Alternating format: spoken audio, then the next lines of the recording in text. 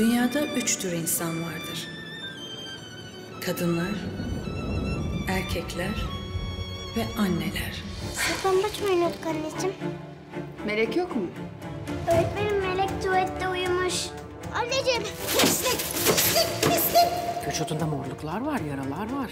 Beceriksizsiniz kızım siz, beceriksiz. Hanımefendi siz bunu daha ne kadar örtbas edeceksiniz? Sana ne be kadın sana ne?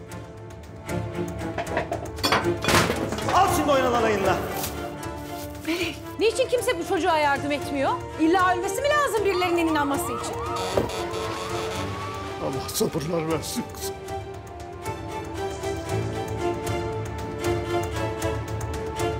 Yeni dizi Anne Ekim'de Star'da.